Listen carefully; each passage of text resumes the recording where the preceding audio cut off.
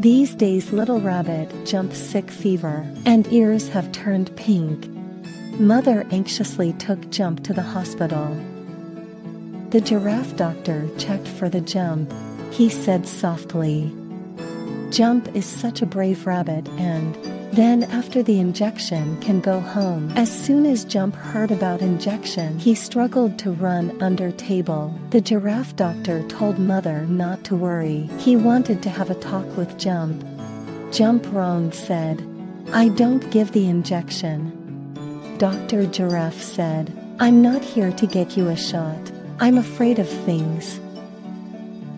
At this, Little Rabbit loosened his grip on his ears and came out from under the table. Are doctors scared too? Of course, jump doesn't cure disease. From then on, eat radish, do not feel sweet or smell the fragrance of flowers, Dr. Giraffe said. Jump remembered the time when he used to play happily in the forest. He likes to lie on the grass and smell the flowers. Think of here, little rabbit firm confidence. Hold mother. I'm not afraid anymore. I want to heal.